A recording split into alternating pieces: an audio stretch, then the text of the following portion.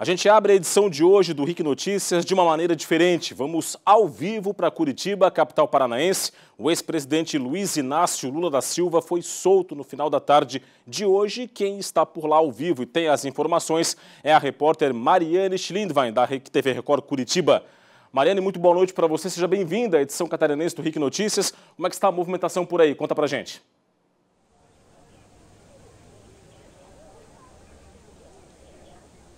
Olá, boa noite, boa noite a todos. Agora a movimentação já deu uma, uma diminuída aqui no entorno da Polícia Federal, da sede da Polícia Federal aqui em Curitiba. Mas foi a, logo depois que o, o ex-presidente Lula saiu no carro, que deixou o espaço aqui, e ainda muitos militantes ficaram, mas agora já está se dispersando. Nós estamos bem aqui em frente, onde hoje o, o, o ex-presidente Luiz Inácio Lula da Silva deixou a sede da Polícia Federal depois do advogado, né, Cristiano Zanin Martins, protocolar o pedido na Justiça Federal aqui de Curitiba para ter o alvará de soltura. É beneficiado pela votação de ontem pelo Superior Tribunal Federal.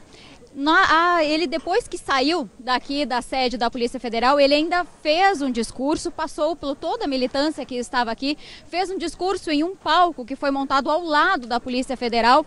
Foram quase 30 minutos de discurso, onde ele agradeceu pessoas, fez duras críticas também à justiça, também à promotoria e também à, à presidência da República né, de agora.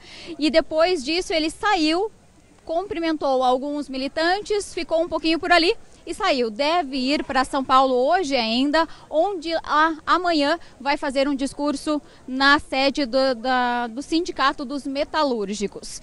Ele já deixou aqui a sede da Polícia Federal, a movimentação agora já encerrou por aqui. Voltamos com você. Obrigado, Mariane, pelas informações. Uma ótima noite para vocês aí em Curitiba, no Paraná. Paulo Seu, tudo bem? Boa noite para você. Boa noite, Rodrigo. Boa noite a você que nos acompanha aqui no RIC Notícias. Momento muito significativo dessa semana, não é? A soltura do ex-presidente Lula. O que dizer desse momento? É o que já estava esperado, né, Rodrigo? Até porque essa decisão do STF permitiria não só soltar o Lula, como soltar outras pessoas que foram condenadas e presas em segunda instância. A prisão só em trânsito em julgado, ou seja, até a prescrição do crime.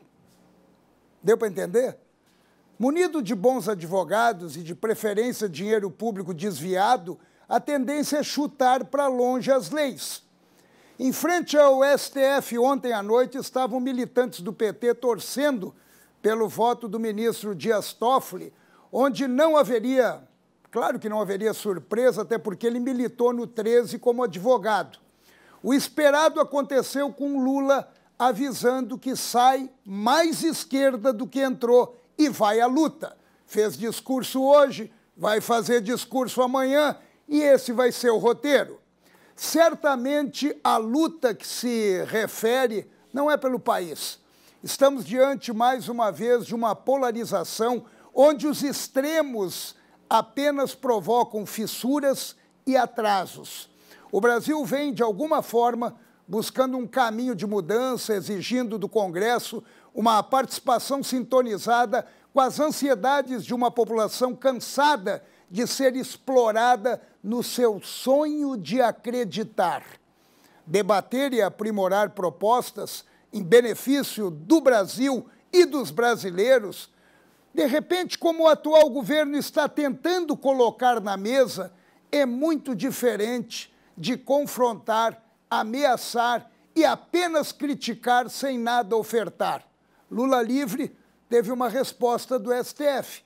Começou aprovando que delatado deve falar depois do delator. Isso tiraria Lula de outro processo, ou vai tirar Lula de outro processo, onde foi condenado do sítio de Atibaia.